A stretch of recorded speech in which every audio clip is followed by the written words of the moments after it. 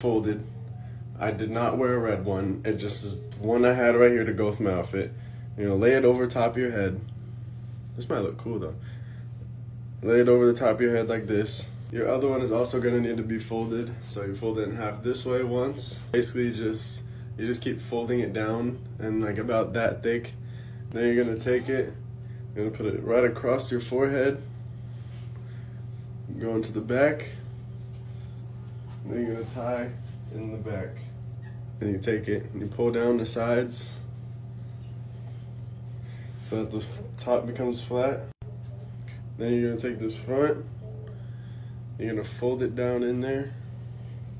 I folded it once last time, and then you kind of take this and it, it just kind of folds in there the same way. I was out at the lake before and I kind of just kept it from like from bugs getting up in my ears and kind of the back of my neck